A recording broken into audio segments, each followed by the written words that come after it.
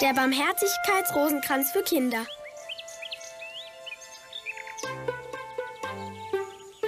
Hallo Kinder, willkommen im Heiligtum der göttlichen Barmherzigkeit. Schön hier, nicht? Ich bin Schwester Faustina und ich möchte euch meine Freunde vorstellen. Hallo. Das ist Christine, Eva, Felix und Josef. Wir sind hier, um den Barmherzigkeitsrosenkranz zu beten. Entschuldige, Schwester Faustina. Was gibt's, Christine? Was ist der Barmherzigkeitsrosenkranz? Ein wunderschönes Gebet, das auf der ganzen Welt gebetet wird. Damit bitten wir Jesus um Vergebung für alles, was wir ihm angetan haben. Lasst mich euch erzählen, was ich vor einigen Jahren erlebt habe. Eines Tages, ich betete gerade in meinem Zimmer, sah ich plötzlich Jesus.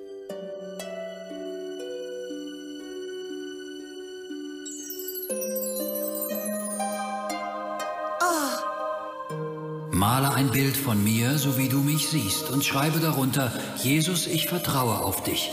Ich möchte, dass dieses Bild auf der ganzen Welt verehrt wird. Seitdem habe ich mein ganzes Leben der Aufgabe gewidmet, allen von der Barmherzigkeit Jesu zu erzählen. Er wartet auf uns mit offenen Armen, um uns durch den Priester unsere Sünden zu vergeben, wenn wir zum Sakrament der Beichte gehen. Jetzt verstehe ich. Bei der Beichte ist der Priester, der uns vergibt, Jesus selbst. Genau, Jesus, der uns vergibt. Bedeutet göttliche Barmherzigkeit, dass Jesus uns immer vergibt? Stimmt, wenn wir den Barmherzigkeitsrosenkranz beten, bringen wir Gott dasselbe Opfer, das Jesus gebracht hat, um unsere Sünden und die Sünden der ganzen Welt zu sühnen. Das Leiden Jesu ist sehr wertvoll, nicht wahr, Schwester Faustina? Richtig, ein geistlicher Schatz, über den die Kirche wacht. Ich würde den Rosenkranz gerne beten. Sehr gut, lasst uns zum Beten in die Kirche gehen.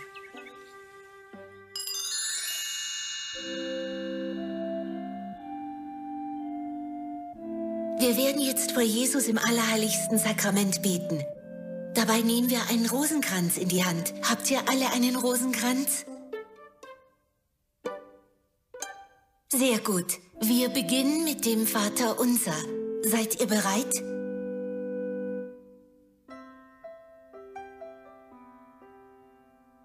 Vater unser im Himmel, geheiligt werde dein Name, dein Reich komme, dein Wille geschehe wie im Himmel so auf Erden.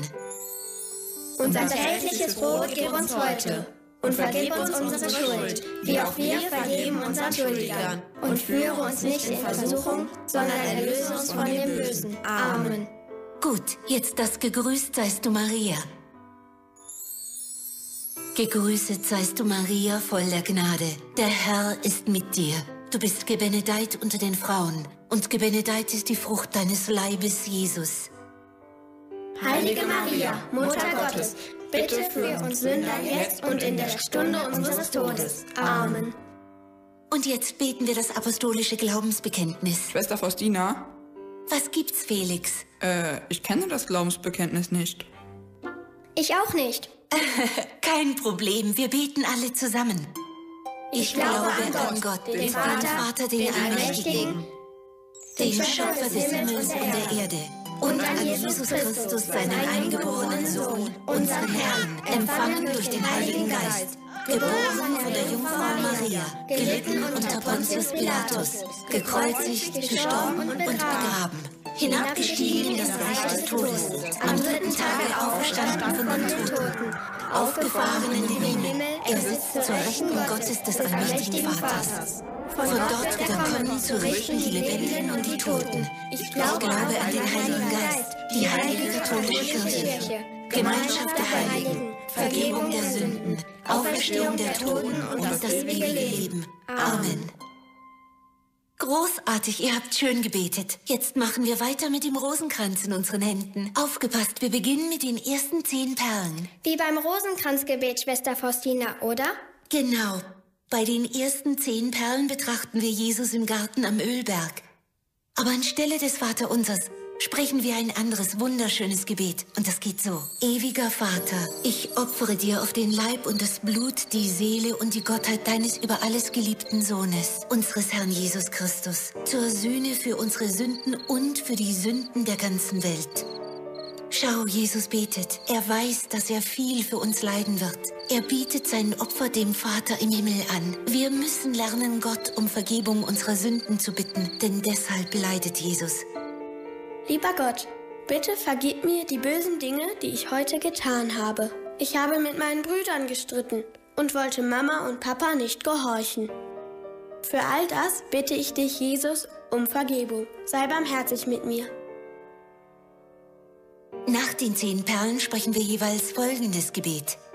Durch sein schmerzhaftes Leiden habe Erbarmen mit uns und mit der ganzen Welt. Nun alle gemeinsam.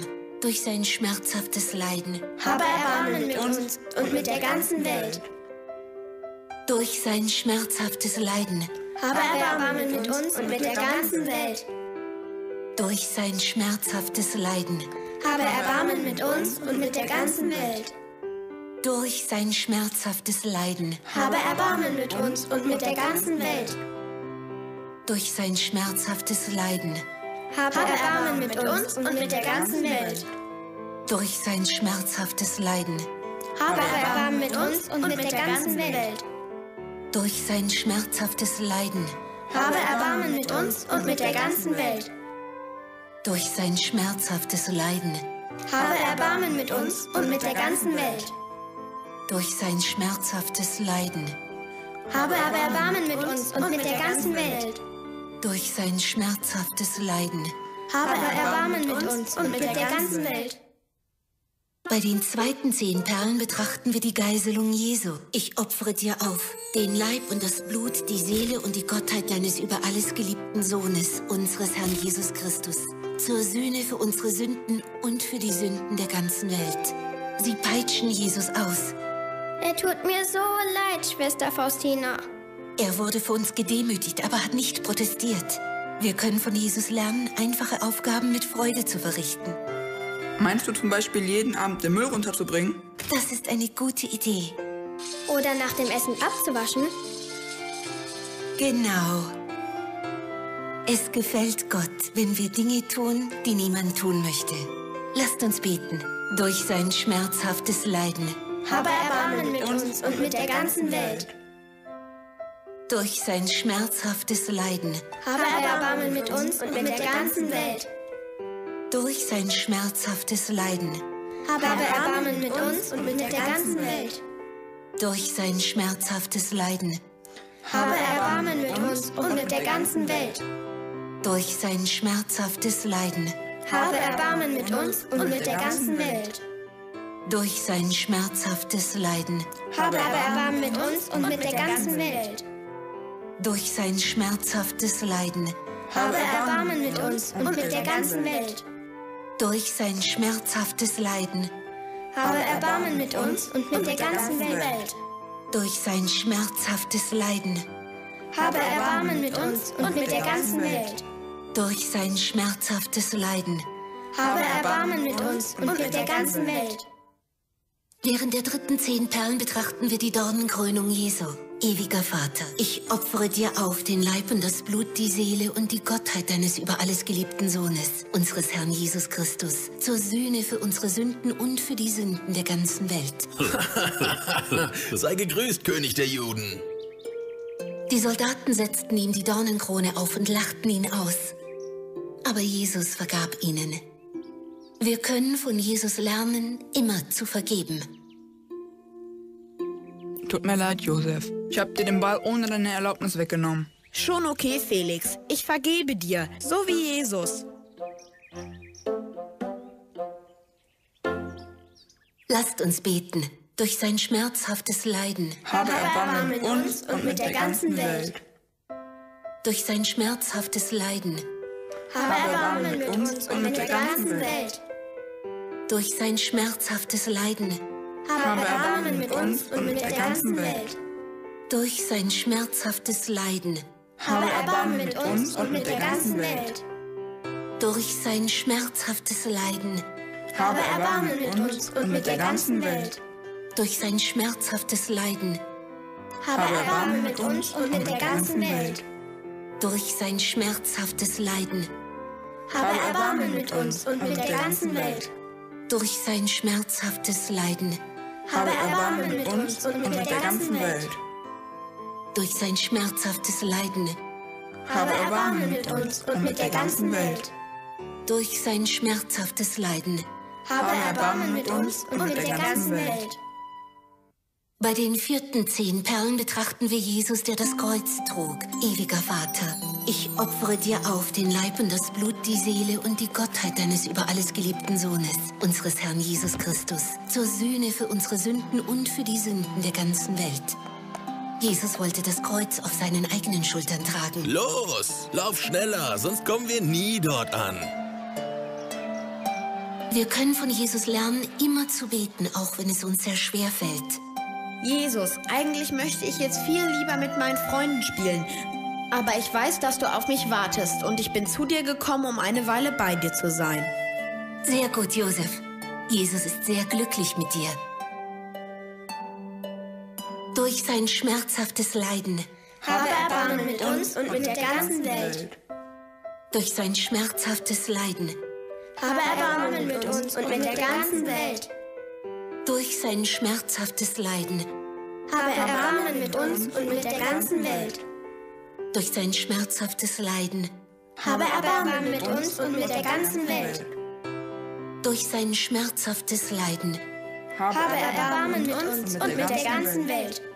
durch sein schmerzhaftes Leiden, Habe Erbarmen mit uns und mit der ganzen Welt.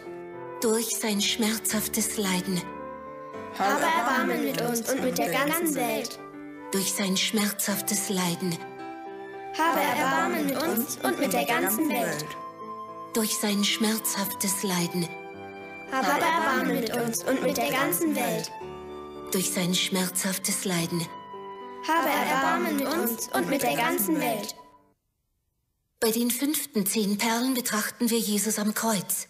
Ewiger Vater, ich opfere dir auf den Leib und das Blut, die Seele und die Gottheit deines über alles geliebten Sohnes, unseres Herrn Jesus Christus, zur Sühne für unsere Sünden und für die Sünden der ganzen Welt. Die Soldaten schlagen Jesus ans Kreuz.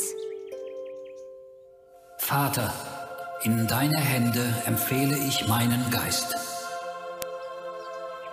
Wir können von Jesus lernen, alles Gott aufzuopfern und immer auf seine Hilfe zu vertrauen. Jesus, ich werde für die morgige Prüfung viel lernen. Ich opfere dir all die harte Arbeit auf und vertraue auf deine Hilfe für eine gute Note.